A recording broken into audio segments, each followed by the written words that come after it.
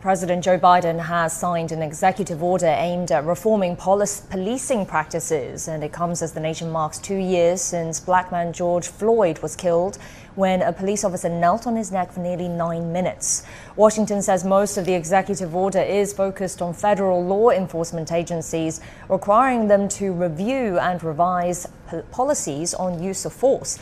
It would also create a database to help track officer misconduct.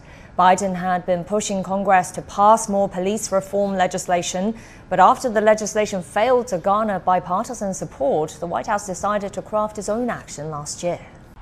This intersection, a few miles from downtown Minneapolis, is a continually evolving memorial to George Floyd.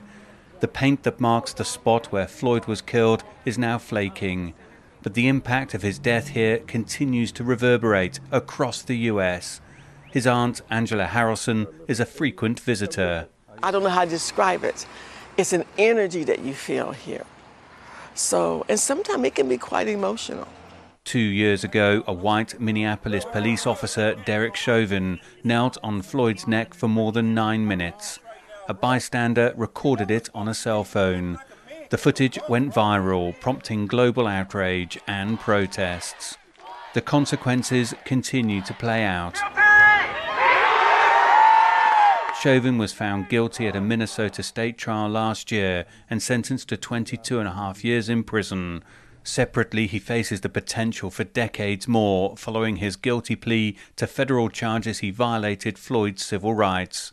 The three other police officers at the scene were also found guilty of violating Floyd's civil rights and await sentencing.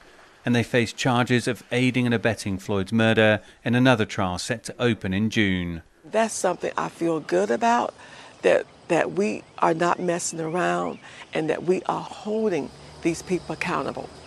Billy Jones was among those to witness the event. He now runs a coffee shop overlooking the square. I'm just happy um, in the technology that we have. It's not that there's nothing new, it's just that we have technology to, to visualize um, what's happening right now.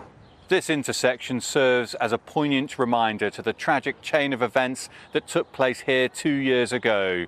But despite some reforms and changes to policing in the city, some community groups say those measures have as yet not gone far enough. The George Floyd Justice in Policing Act, federal legislation that aims to change the way policing is performed, stalled in the US Senate. This, as a report by the Minnesota Department of Human Rights found Minneapolis police have engaged in a pattern or practice of racial discrimination going back at least a decade. The truth is, there were facts that racism exists in the police force and how the police purposely would seek out brown and black people. What they need to do now is come up with a team and start putting things in order. Events here shook the world but the process of bringing genuine change is a fight that continues. Dan Williams, CGTN, Minneapolis.